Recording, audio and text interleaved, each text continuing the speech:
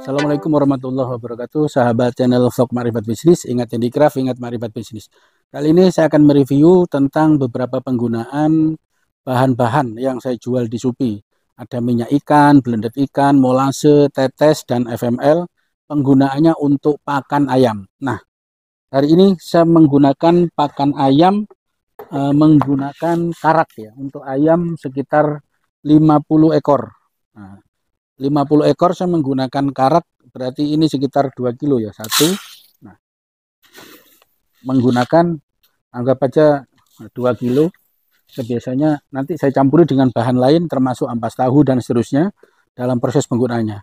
Ini penggunaan eh, bagaimana cara menggunakan karak dulu. Nah, cuman bahan baku karak ini belum saya jual di Supi Marifat Bisnis karena stok saya masih terbatas dan harganya masih naik turun. Jadi sementara saya penggunaan karak adalah seperti ini. Cara penggunaan karak dulu ya. Nah ini. Nah ini kemudian karak ini dicuci dulu. Dicuci, dibuang bakteri patogennya. Jadi tidak bisa langsung karak ini dikasih makan ayam. Maka ayam akan sakit-sakitan justru. Karena ini memang karak diambil dari limbah nasi afking yang dari berbagai macam e, sampah di sampah tentu banyak bakterinya di sini. Bakteri patogen sangat banyak, maka ini harus dicuci dulu. Dicuci dan kemudian direbus atau pakai hangat. Kalau saya langsung saya bubur. Nah, karak ini e, langsung dicuci, dicuci sampai bersih. Nah, ini dicuci. Dicuci karena ini kalau nggak dicuci patogen sangat banyak ya. Nah, kalau beras jagung, e, bekatul dan lainnya itu tidak perlu dicuci sebenarnya. Tapi kalau karat menurut saya wajib dicuci ya. Kenapa? Karena patogennya di sini sangat banyak. Uh, karena namanya nasi afking itu kan dibuang biasanya. Tidak mungkin nasi afking bekas langsung dijemur sama sama rumah makan. Tapi biasanya itu kan dibuang campur sampah. Nah, di situlah uh, sumber bakteri patogen sangat banyak. Maka banyak teman-teman uh, ketika ayamnya dikasih makan karat itu uh, banyak sakit bintilan dan berbagai macam. Ya, uh, dengan demikian karena prosesnya tidak dicuci seperti ini. Jadi harus direbus, dicuci, eh, dicuci dulu sampai bersih, bakteri patogennya dibuang dan setelah ini dilakukan proses pemasakan. Nah, campurannya bebas, mau campuran macam-macam sayur dan seterusnya. Hari ini uh, makanan ini akan saya gunakan dari berbagai macam bahan yang saya jual di Supi ya.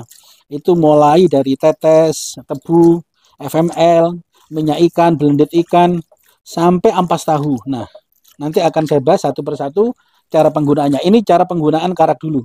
Uh, cuma teman-teman yang pesan karak ini masih belum saya jual di Shopee karena stok saya memang tidak banyak dan memang agak susah belakangan ini permintaan karak terutama untuk pakan bebek ya sangat banyak sekali. Sehingga saya mengalami kendala dari tim pengepul karak. Nah, ini sudah bersih. Selanjutnya ini tidak saya buang karena saya menggunakan mini farm multi farm Marifat Bisnis langsung saya gunakan untuk pupuk tanaman karena kandungan ini bagus ya. Untuk pupuk tanaman di sini memiliki kandungan enzim dan banyak bakteri yang dibutuhkan oleh tanaman. Jadi ke tanaman akan bisa berbuah itu lebih bagus.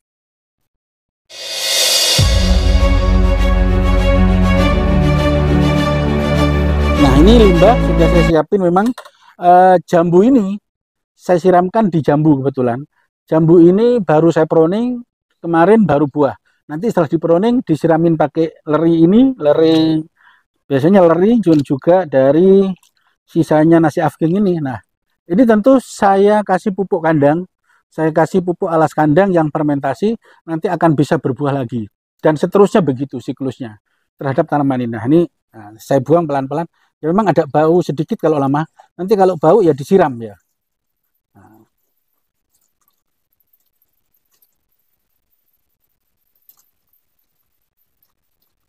Nah, karak ini saya cuci hanya sekali, tidak menggunakan berkali-kali karena khawatir kandungan protein di dalam apa itu karbohidrat dan seterusnya kandungan di dalam makanan karak ini bisa berkurang. Jadi cukup sekali tujuannya membuang bakteri patogen dan beberapa bakteri-bakteri yang tidak dibutuhkan oleh ayam. Nah, sekali cukup. Mengapa cukup sekali? Karena setelah ini saya lakukan proses perebusan atau saya jadikan bubur. Selanjutnya setelah kita buang, kita tambah air bersih ya. Saya tambah air bersih. Ini biasanya penuh untuk ayam 50 nanti karena banyak campurannya ya. nanti uh, karena banyak campurannya ini airnya penuh karena untuk uji coba tentang penggunaan mulai bekatul, ampas tahu dan uh, tepung ikan, blended ikan, minyak ikan, cara penggunaannya seperti apa. Juga termasuk dicampur limbah-limbah sayur ya. Saya hijau-hijauan karena saya menggunakan hijau-hijauan dari limbah dapur biasanya. Bisa masak, kalau tidak ada ya biasa saya tambah langsung dari sayur-sayuran yang ada, bayam atau sayuran yang lain, bisa pepaya dan banyak jenis-jenis sayuran yang pokoknya terdapat di sekitar kita.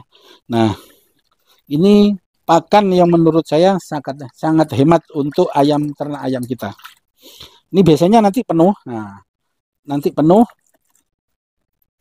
Ini airnya kan mulai jernih, saya membuang kotorannya. Sebenarnya ini perlu dibuang lagi karena ini saya nanti perlu saya bubur tidak perlu karena ini banyak dibutuhkan kandungan ada protein, ada karbohidrat. Di sini dibutuhkan oleh ayam. Kalau terlalu bersih nanti bisa-bisa kandungannya habis.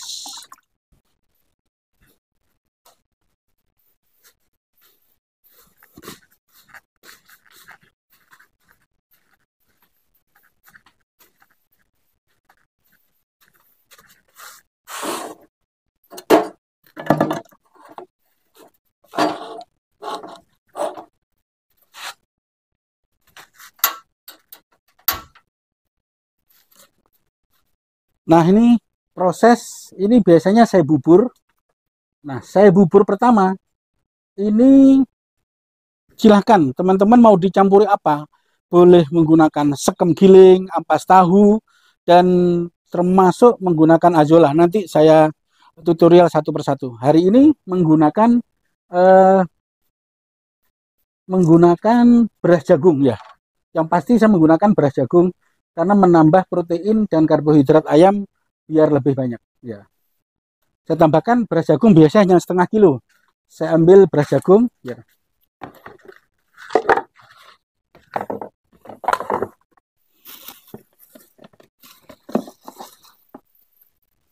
Nah ini beras jagung.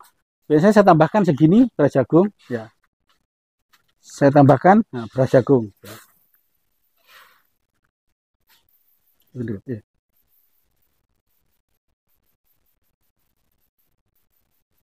Cantos.